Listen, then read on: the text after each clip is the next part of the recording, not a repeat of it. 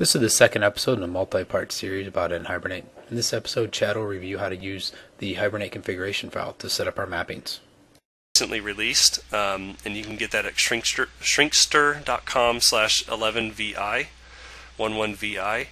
Um, you just download that and unzip it, and in there you'll find a bunch of files. What you really need are the, excuse me, the binaries, the DLLs, NHibernate has some dependencies on like Log4net and the Castle Dynamic proxy. We'll get into what the proxy is for later.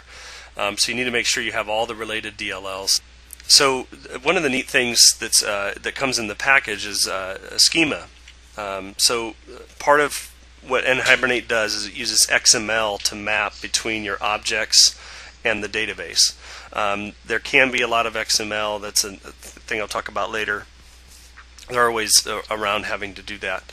Um, but if you're if you're using the XML, you will definitely want to drop the schema into your program files. Um, you know, if you're on a 64-bit operating system, this will actually be program files parenthesis x86, Microsoft Visual Studio 9 if you're using Visual Studio 2008, and there's an XML folder and there's a schemas folder.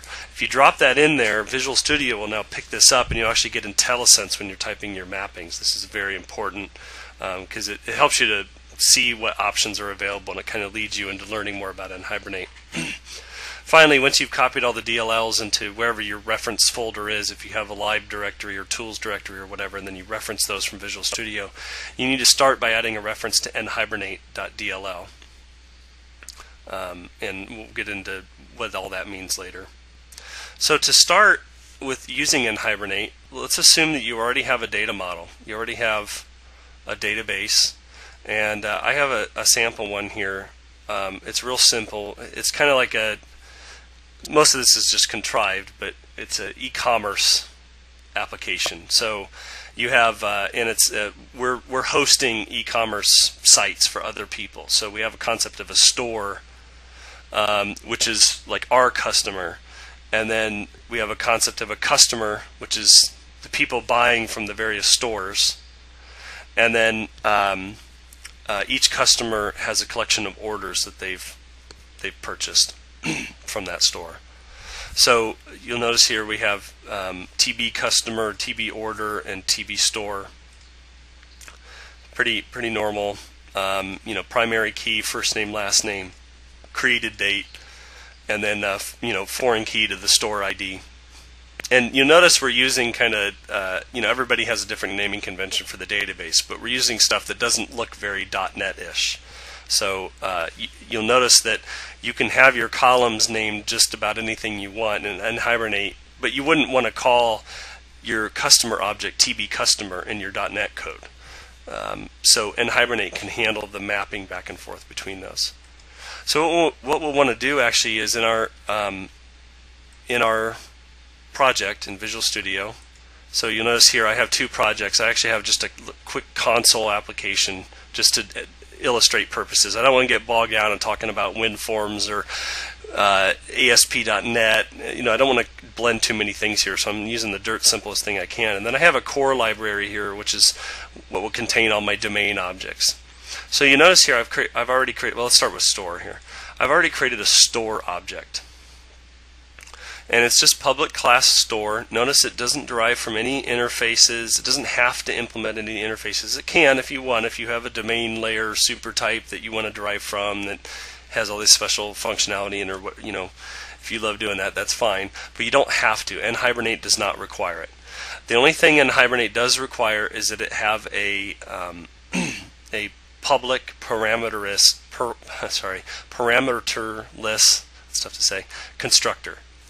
Um, there are a few ways around that. You can actually tell NHibernate how to deal with it, but uh, um, it, that's much more complicated, you know, high level stuff, so or uh, low level stuff. So I'm going to avoid that for right now. But for for right now, just assume you need to have a parameterless constructor, and then you just have properties on your object like normal. If you want to facilitate lazy loading, which is something we'll talk about, you need to make the properties virtual. This is not a requirement. Uh, lazy loading is not a requirement, but uh, it does help speed a few things up. So you need to you need to make your properties virtual. This generally isn't that big of a deal. Some people get bent out of shape about it, but you know it's an option you can configure. NHibernate is extremely configurable. And then I just put this, uh, I put a ToString method on it just to facilitate our console app so you can see things print out. There's nothing magic there. That's definitely not required by NHibernate. This is just something I threw in there. And then what you want to do is in order to map the store, you'll actually want to um, you know, right-click in your project on the folder and add a new item. And you're going to add an XML document. And you need to call well i don't think the file name actually matters. Uh, it's generally customary to call it the same as the class name. So store in this example .hbm.xml that's that's the custom. It doesn't actually have to be that way um, and I think NHibernate will figure it out uh, but this is generally the custom. So I already have one of those so I'm not going to actually do it. There's one other thing you need to do. You need to make sure it's an embedded resource.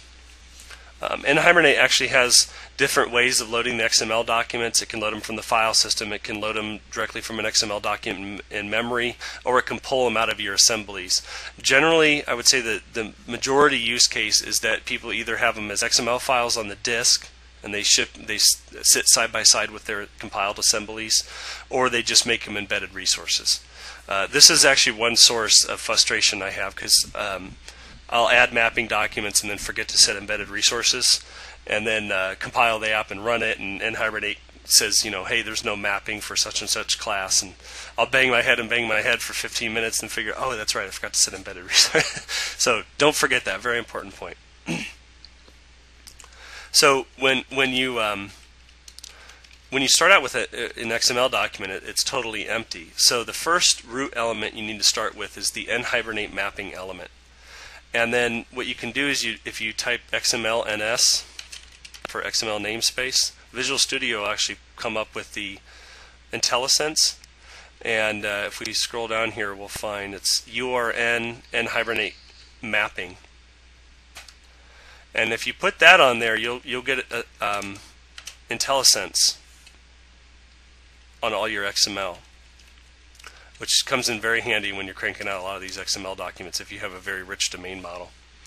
So what I did here is on the Hibernate mapping is all my classes are going to be scoped using from this assembly and this namespace, nhibernate_intro.core, and the namespace is core.domain, nhibernate_intro.core.domain.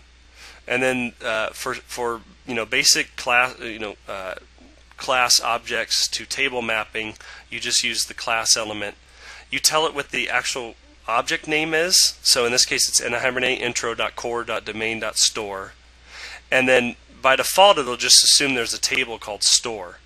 But what we're going to do is we actually don't have a table called store. It's called TB store. So we have to tell Hibernate this is what our table name actually is.